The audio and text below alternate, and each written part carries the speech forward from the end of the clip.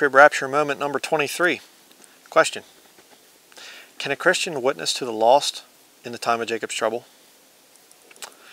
1 Timothy chapter 2 verses 1 through 4 says, I exhort therefore that first of all supplications, prayers, intercessions, and giving of thanks be made for all men, for kings, and for all that are in authority, that we may lead a quiet and peaceable life in all godliness and honesty. For this is good and acceptable in the sight of God our Savior, who will have all men to be saved and to come unto the knowledge of the truth. Well, praise the Lord.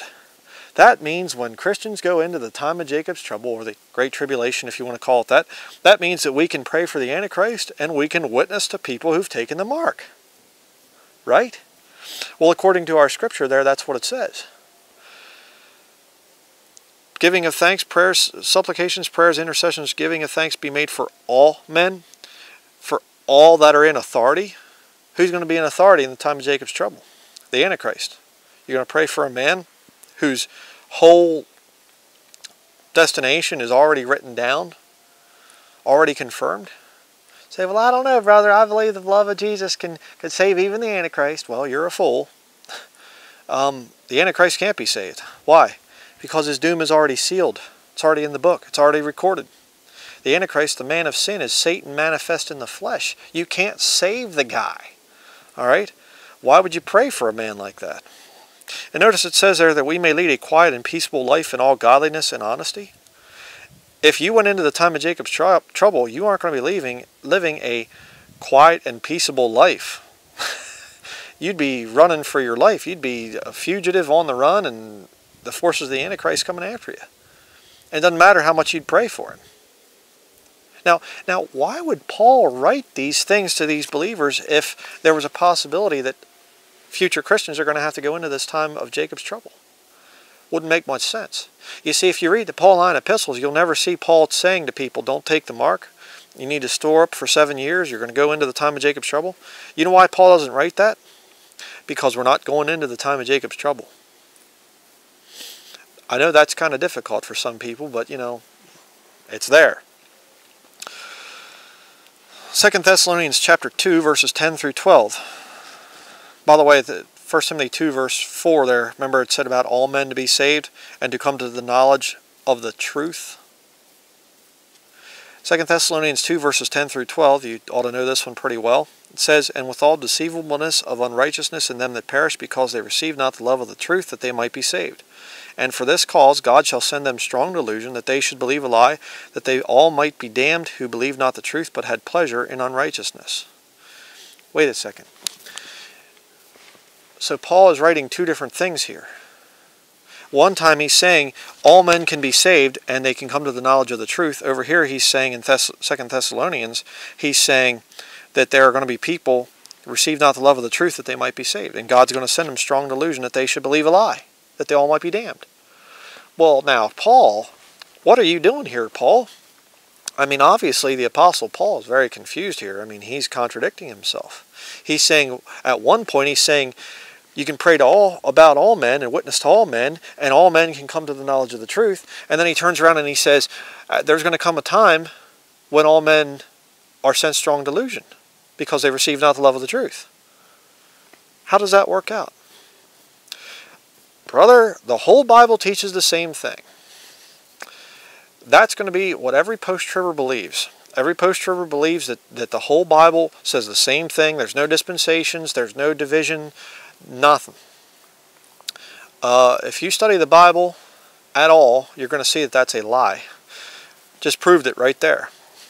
Paul is saying in, in 1 Timothy chapter 2, he's saying right now in the church age, all men can be saved, all men can come to the knowledge of the truth. Then in 2 Thessalonians chapter 2, Paul is explaining this time that's coming after the body of Christ is removed. And he's saying, at that point in time, those people that don't receive the love of the truth, God's going to send them strong delusion that they should believe a lie. And when you get somebody that takes that mark of the beast, if you would make it into that time period, witnessing to them is a waste of time. Somebody that takes the mark of the beast can come out and they can say, I believe in Jesus Christ, Jesus died for my sins and blah, blah, blah, whatever, and they'll go to hell. they'll go to hell like a bullet. Why? They took the mark. They worship the beast. I don't care what professions they make.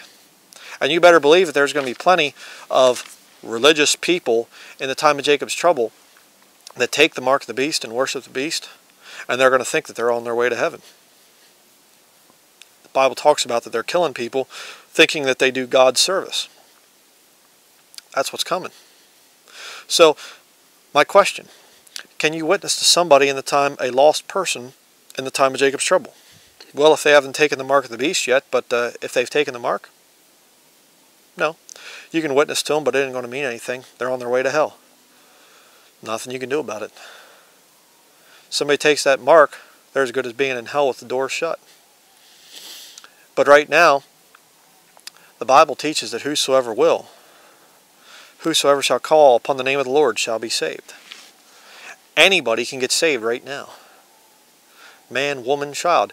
Hey, you're out there today and you're an atheist and a Satanist and you've participated in human sacrifice and you've drank the blood of somebody else and you've been involved in sodomy and whatever else, come to the Lord as a sinner. Come to the Lord in a repentant state. You can get saved right now. You go into that time of Jacob's trouble, you take that mark, you worship the beast, you're damned.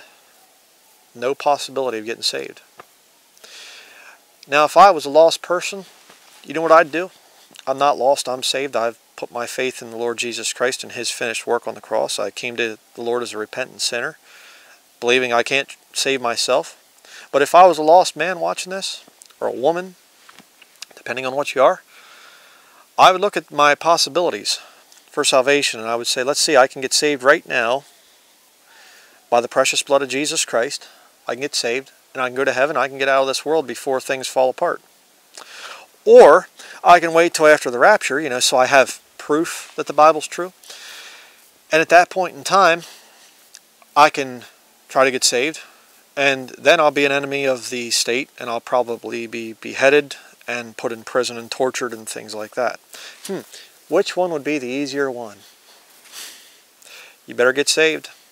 You better get saved before the rapture happens. If you're watching this video and there's not been this major event yet where Christians, myself and many others, have disappeared uh, and we haven't been called out of this world yet, you still have a chance to get saved. If you wait, you're going to get proof. I'll tell you that. You'll get the proof that you want to see that the Bible is accurate. But uh, your salvation in that time period is going to be next to impossible because God's going to send you strong delusion. Why? Because you didn't receive the love of the truth right now. You better get saved.